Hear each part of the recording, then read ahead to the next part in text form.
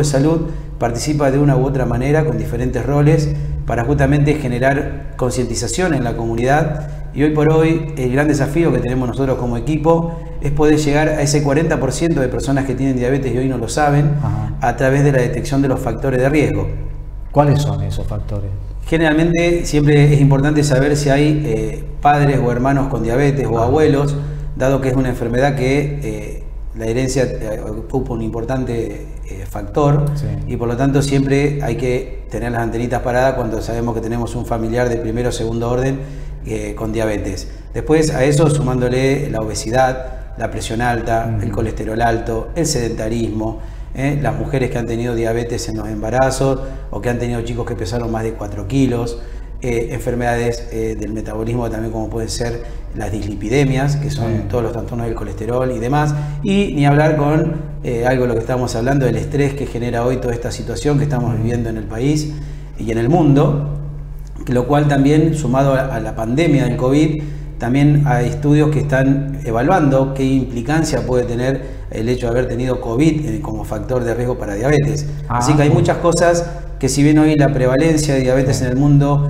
y lo que se viene para dentro de 15 años es eh, aproximadamente un 60% más de población con diabetes, hay datos que todavía no tenemos. Así que eh, la idea de este mes azul es poder llegar a la comunidad en la concientización de generar hábitos saludables, como por ejemplo, yo siempre hago mucho hincapié en el tema de la actividad física, en el tema de un plan de alimentación saludable, la higiene del sueño, Fernando, que muchas veces no le damos importancia y el dormir 7, 8 horas por día es sumamente importante. Eh, así que bueno, hay muchas cosas para poder hablar, para con pequeñas cosas generar eh, menos riesgo de desarrollar la enfermedad. Hay muchos trastornos del sueño. En ya lo creo. ¿eh? Uno habla con la gente, y no puedo dormir, o me acuesto tarde. O... También influye mucho esto de el gobierno se niega, o, los, gobiernos en general desde hace años, se niegan a cambiar el horario, ¿no? porque eh, anochece muy temprano, amanece muy temprano también, horas que se desperdician para la producción y horas que también hacen que nos pongamos en alerta antes de tiempo también nosotros. Entonces eso, eso influye en el sueño, ¿no? Sí, totalmente. Y, bueno, eh, un poco yendo a lo que vos decías antes, porque ahora antes era un día y después era un mes. Eh, en el primero de noviembre, eh, yo pertenezco al Comité Diabético de la Sociedad Argentina de Diabetes y se declaró lo que es el Día Latinoamericano de Prevención y Concientización en el Cuidado del Pie para evitar una complicación tan importante como el pie diabético. Claro. La Federación Internacional de Diabetes plantea que cada 20 segundos en el mundo una persona con diabetes puede perder un pie o una pierna a consecuencia de la diabetes. Y a nosotros nos gusta enfocar esta temática con un espíritu, digamos, optimista, como sabemos que todo, el 90% de estas situaciones pueden evitarse con educación. Entonces, cuando decimos que esto es tan complejo, a veces el médico no puede abarcar toda esta temática, por eso se incorpora la figura de un podólogo capacitado en la temática para, eh, yo a veces digo, es muy importante poder sacarle los zapatos o las zapatillas a las personas para poder mirarle los pies. Porque muchas veces... Ahí empieza el, tema, es un síntoma. Y muchas veces las personas pierden síntomas, entonces no se dan cuenta y pueden tener una lastimadura y no darse cuenta. Entonces si yo no le saco el pie no sé qué está pasando debajo y a veces un calzado inapropiado puede ser el responsable del 40% de las lesiones.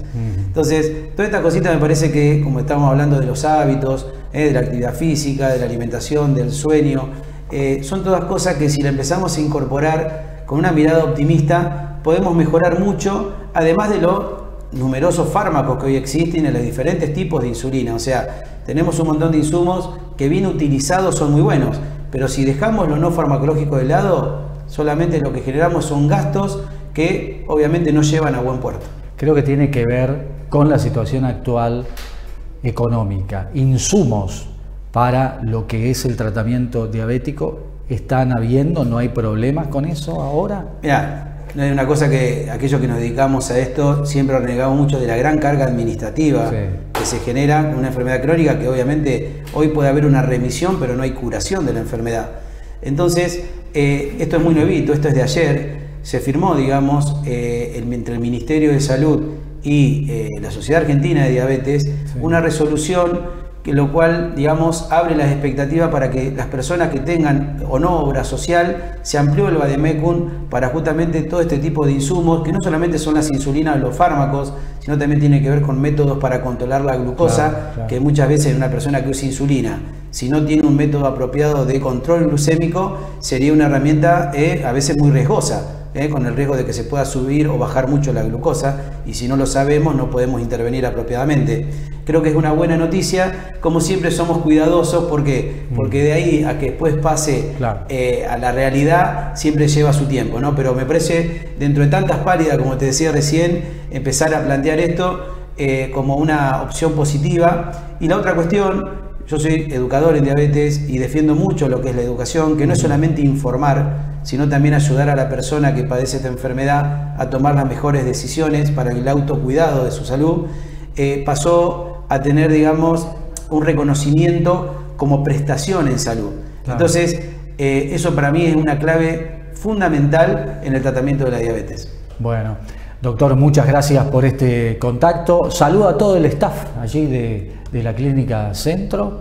Este, estuvieron haciendo hoy una jornada precisamente. Sí, justo te quería redondear en esa idea. Estuvimos, la verdad que después nos corrió el calor, eh, pero bueno, la verdad que tuvimos una linda jornada. La idea siempre fue entregar folletería, consejería a, la gente. Justamente estábamos en la vereda, en la entrada de la clínica, junto con el equipo, con la nutricionista, eh, dos nutricionistas, dos enfermeros, eh, un administrativo. Y también hacíamos score de riesgo. O sea, hoy con preguntas muy simples uno puede, digamos, determinar lo que es la incidencia de diabetes a 10 años Así que eh, la verdad que estuvo muy lindo.